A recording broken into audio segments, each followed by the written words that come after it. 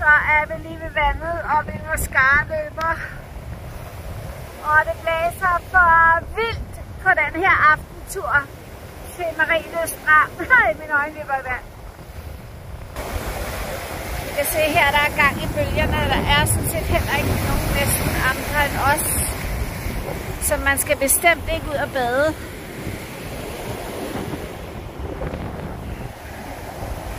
I det her bølget vejr. Du kan som altid finde dit helt eget Sanneville Family Merch samt links til videohilsner øverst i videobeskrivelsen. Her finder du også den hemmelige rabatkode til gratis fragt. Hvis du er ny på kanalen, så håber vi også, du vil abonnere. Det er gratis og hjælper os rigtig meget. Men det her, jeg tror, det ved jeg ikke.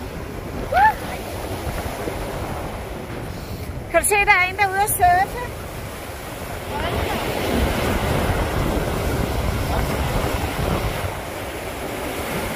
Hvad har du fundet til mig? En sten.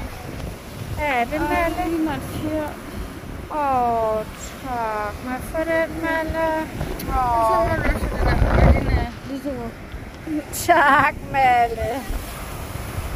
Nå, nu tror jeg lige, vi er på vej ud fra stranden her. Og hjemme, det var en god aftentur, vil jeg sige. Vi skal hjem og have en kop kaffe, og hvad er det, vi skal hjem og se, Sofia? Bachelorette. Bachelorette. Er det sidste afsnit? Ja, det er vel. Hvad siger du, Malle? Det er efter Bachelorette. Åh, oh, mine øjne de er helt løbet i vand, Malle, efter jeg var nede i det blæsevejr. Er dine også det, Malle? Vi har arbejdet der. Og smidt. Jeg går her med Malle i hånden og bare gå aftentur. Her helt roligt i forhold til ved vandet, ikke? Mm. Det var virkelig sødt, du fandt en sten, en fjer, der lignede en fjer. Mm. Thomas, jeg fandt jo et sø. Pensvin. Se et tykt øh, musling, jeg fandt. Ja, Er det en det er Ja. flot. Men jeg fandt faktisk et øh, Ja. søpindsvin. Ja. Hedder det ikke sådan? Altså, der er ikke... Normalt er der sådan nogle markeringer på det. De er bare ikke så tydelige her, men uh, jeg synes, det har formen i hvert fald. Det ligner lidt et ansigt. Nogle sjove... Uh, Kan du ikke se, at det ligner et ansigt? Jo. Jo. Det der, og Bare den ikke blinker det til dig lige om lidt. Ja, sådan en fisk. Det ligner sådan en, hvad hedder det? Det er sådan en val -agtig. Hvad hedder det? En uh, valhej. Altså, det er det, det hedder, men altså... Men den har sådan en mund, som er helt... Men øh, Ja, er den her fandt jeg, og så fandt Malle jo den, der ligner en fjer. Åh, det er denne her. Hvor er det? Åh, det kan det faktisk. Sofia, du bliver da helt utilpas. Hun er meget stille. Er du okay? Ja. Det var godt. Skal vi til at se Bachelorette? Hvorfor Sofie. Er Så blev det næste dag, og Nadia skrev, at de kommer på besøg i dag. Juhu! Så ja, de kigger ned. Øhm, Nadia brænder Holly, og øhm, de vil være her om en 20 minutters tid. Så det bliver jo super dejligt. Og vejret er fint hernede. Det er 22 grader. Det er lidt overskyet, men det er fint vejr. Så vi kan sidde og spille kort og hygge os. Og måske gå til stranden. Og lige nu er de ved at lave dam. Ja. Jeg har ikke spillet Spille, dam. mølle og dam hedder det. Ja, jeg har ikke spillet dam siden jeg var barn. Jeg spillede meget med min mormor, kan jeg huske. Er det rigtigt? Der Ja. spiller jeg Ludo med min mormor. Og øh, se, øh, vi har stillet bri- brikkerne op ligesom på, på det bræt her. Men det er forkert. Men det er forkert. Nå, De har simpelthen sat brikkerne forkert på det officielle spil her. nå okay. Jeg forstår det jo heller ikke. Nej, nej, nu, vi tager lige en øverunde. Sofia har ikke prøvet at spille dam før, så øh, hun skal lige lære det jo, reglerne, Ja, ikke? selvfølgelig, Sofia. Ja, så kan du tage mig. Men Thomas, vil du ikke række mig min kaffe? Nej. Og i dag er det min fjerde dag uden sukker. Jeg er faktisk Ja, du er meget meget, meget stolt. Og det her det er min fjerde dag med sukker. Det er, din, Okay, Sofia. det er dit tredje år med... Det er dig? Jeg kan bare mærke, at jeg har det bedre med min krop om aftenen, når jeg skal sove. Altså, når jeg ikke får alt det sukker. Måske skulle du også overveje at trappe lidt ned for sukker, Sofia. Man får det faktisk meget bedre sin krop. Nej, det er kun gamle mennesker, der gør det. Nå, okay. Nå, nå, nå. Nu tror jeg simpelthen, nu de allerede er her. Hej. Hej, Holly. Hvor er I søde. I vil komme herned og besøge os. Hej, skat. Kan du ikke undvære mormor mere? Hvad? Dejligt, Holly. Hej. Åh, Nudi, du kan da ikke undvære din mutti. Ej, sød. Var det Holly? Var det Holly musen, var?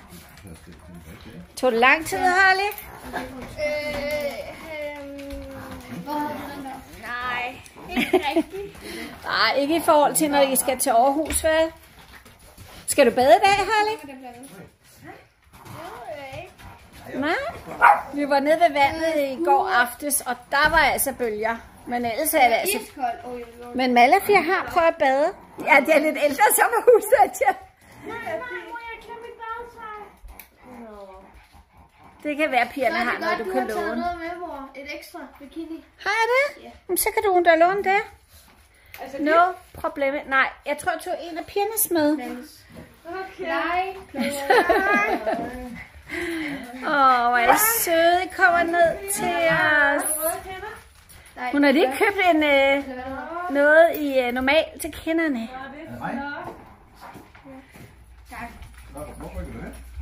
Ja, hvor er det hyggeligt at kigge ned. Brian, hvis du skulle beskrive dig selv som et dyr, Ja, hvad, hvilket dyr var du så? en labrador. En labrador? med ikke en labrador. Jeg er helt... Det, du er Sankt Berner. Stor fed og sover hele tiden. Nej, nu er det...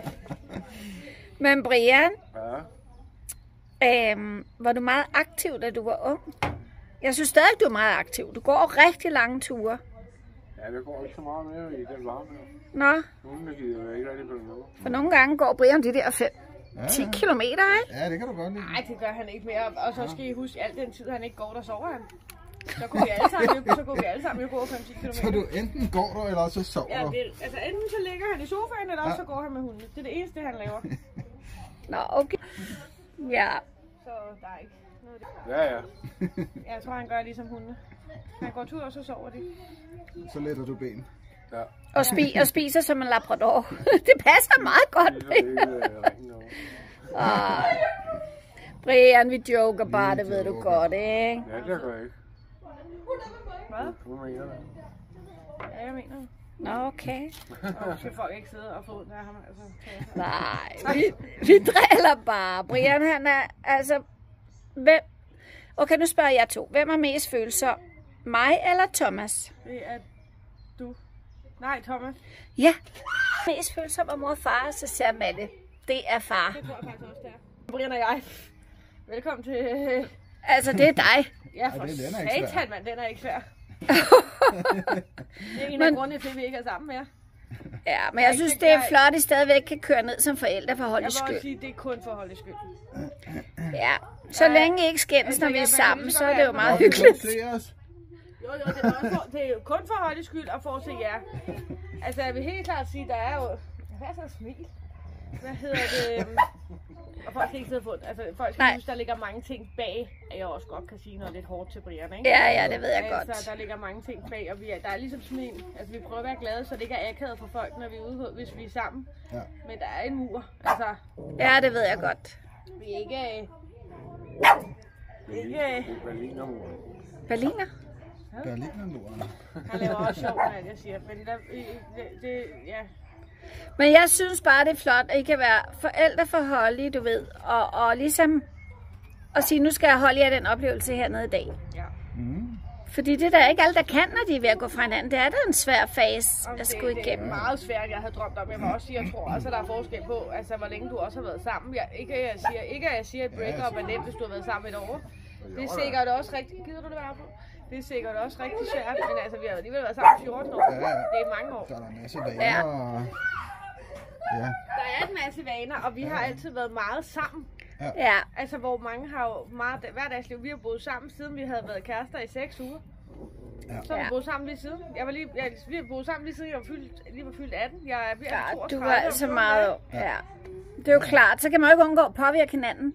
Så jeg vil sige, det er jo virkelig ikke bare, at man ikke er kærester mere. Det er jo en helt livsomlægning, altså man skal lave, fordi man har været vant til så mange ting i 14 Ja. år. Ja. Så, men vi kan jo, selvom vi ikke er de bedste venner lige nu, så øh, gør vi da ting for Hollys skyld. Nå, det er jeg glad for. Holly, hvad laver I? Sidder bare og hygger? Nå, må man vi også gå på nogle kiks? selvfølgelig må I det. Tak fordi I så med på den her video. Det er bare så hyggeligt at få besøg hernede. Husk at abonnere og give videoen et like, og så ses vi snart igen. Hej!